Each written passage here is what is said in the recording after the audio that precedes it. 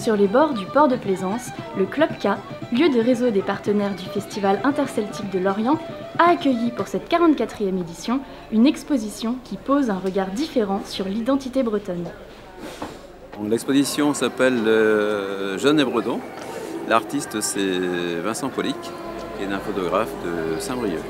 Ces photos, ils représentent des jeunes euh, qui sont bretons, fiers d'être bretons, mais qui n'ont vraiment pas le look de breton, c'est-à-dire qu'ils sont euh, métis ou colorés, et qui expliquent pourquoi, euh, malgré tout ça, ils sont bretons et fiers de l'être.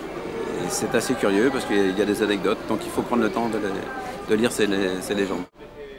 Ces afro-armoricains, leur parcours atypique et leur discours plein de sincérité ont immédiatement séduit Patrick Guyon. Alors, en fait, pour l'édition 2013, euh, le permanent du festival euh, qui s'occupait du Club K et des partenariats s'appelle euh, Yannick Martin. Donc c'est un Colombien adopté. Et puis cet hiver, il m'a appelé en me disant, il y a un photographe qui m'a photographié, il fait une expo, il m'a expliqué le message qu'il voulait faire passer.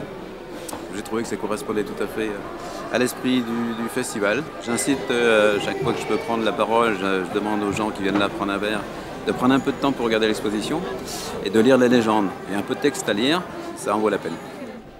Pour découvrir ou redécouvrir le travail de Vincent Polic, il sera à la galerie Le Carré d'Art de Chartres en Bretagne, en Ille-et-Vilaine, à partir du 4 septembre.